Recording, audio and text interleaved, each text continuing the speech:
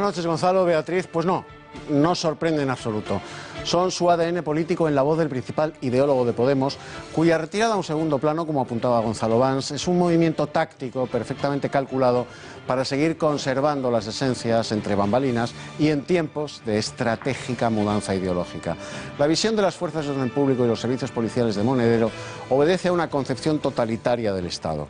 Monedero quiere convertir, con Podemos en el poder, a la Guardia Civil, a la Policía Nacional y a algunos jueces, a los que se presten a ellos, en policías políticas que dejarían de ser el ángel custodio de la sociedad para convertirse en el KGB, la Gestapo o la Stasi de Podemos, dispuestos a detener a quien Podemos les ordene, sin mandamiento judicial y sin presunción de inocencia, con el aval, si acaso, de un juez de partido convertido en acusador público al viejo y siniestro estilo de los tribunales populares revolucionarios, que aplicarían la justicia proletaria que tanto le gusta a Pablo Iglesias. Cuando alguien dice que él meterá en la cárcel a sus adversarios sin mandamiento judicial, sin juicio y sin condena, por muy corruptos que presuntamente sean, es que es un tirano. Sencillamente. O sea, Podemos.